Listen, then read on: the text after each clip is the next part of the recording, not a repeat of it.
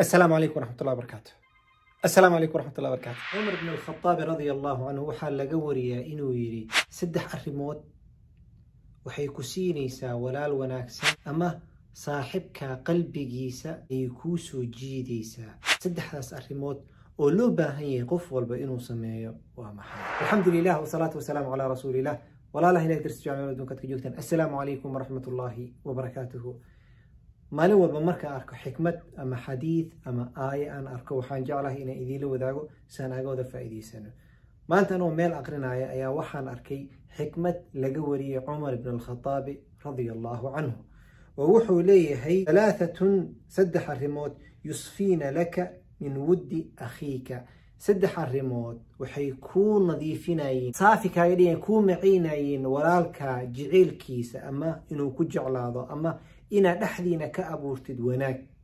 Tan koobaad wuxuu yidhi waxaa waaye an tusallima calayhi idaa laqiitahu.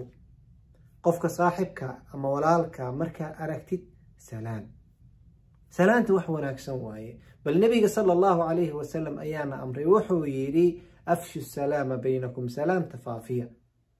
Xadiid dheer uu ahaa. Bal nebiga sal ly slam xadiid kale wuxuu inuu sheegay arrimaha jannada lagu galo wuxuu yihi wallaahi lan tadkhulu ljannata xataa tu'minuu janno ma gelaysaan ilaa aad rumaysaan.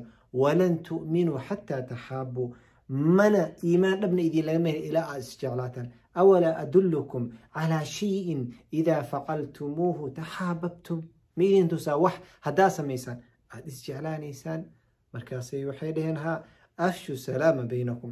Idan qofka walaalka ama gabadha walaasha markay aragtid salaan assalaamu calaykum waraxmat ullaahi wabarakaatuhu dheh qofka markaa salaanta ku badisid wuu ku jeclaanaa haddaa aragti laakiin qof markuu ku soo galo uusan ku salaamin adiga xataa waxaa leedahay hey what's with them? Maxaa ku dhaca? Qofka muxuu ii salaami waaya qofka ugu fiican qofka ugu fiicanaa wuxuu leeyahay maybe he ignored you. Qofkan wuxuu leeyahay maasaa iga fiican? Wallahi na mar kale salaamaynin salaantu way garman soo maaha wallahi na mar kale salaamaynin meesha maxaa ka dhalatay marka? Cuqdaa ka dhalatay. Taas waa tan la diiday. Marka cumar alkhataab radi allahu canhu wuxuu ku leeyahay wuxuu ku leeyahay walaalkaa markaa aragtid salaan salaamu calaykum. Salaantaas waxay samaynaysaa walaalkaa qalbigiisa ayay kuu soo jiidaysaa. Arrinta labaad oo lagaga baahan inaad samaysid waxaa waaye wa lahu fi lmajlis adigoo fadhisidoo kuu yimid ka siko. Ina aaga istaagtid waa laga fiican yahay. Asigana qalbigiisa kibir ha gelinin adigana ha isbarin. Laakiin kursigaa ku meel wanaana haysta u banay soo dhawo meesha fariis soo fariis waa nagu filan soo ciriiriya soo maahan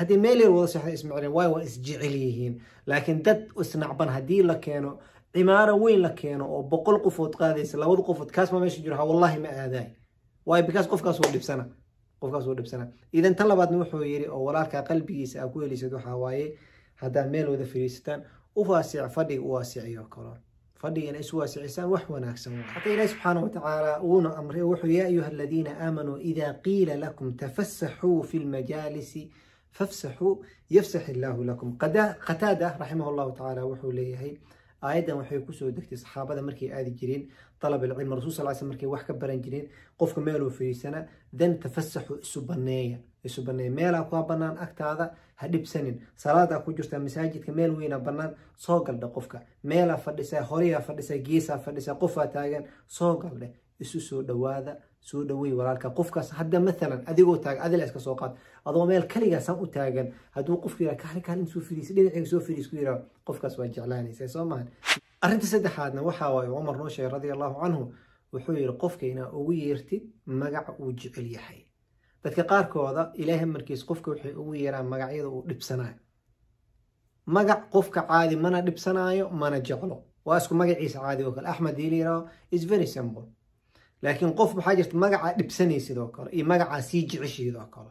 Abu maxamed markii la yidhaho kunya lagugu yeero oo kale waa magac waxaa dareemaysa qofka inuu ku soo dhaweynayo hadduu ku yidhaha aabbaha uu kugu yeero oo kale yani magac magaca ka jeceshahay ayuu kugu yeera maalan qofaa injineer waayo he injineera uu yidhi ama macalin yaa ustaad uu yidhi magacii uu jecel yahay qofkaana karaameynayo ugu yeeri waxay ka tahay waxyaabaha quluubta isu soo dhaweysa ee waxyaabaha quluubta isu soo dhaweynayso aan ka fikirno kheyr allah idiin siiyo. Idan cumar bn radi allahu canhu hadalkiisoo gaaban wuxuu ku yidhi haddaa jeceshihid walaal wanaagsan inaa heshid qalbigiisa aa soo dhaweysatid saddex arrimood sameey kow waxaa waaye salaan markaa aragtid.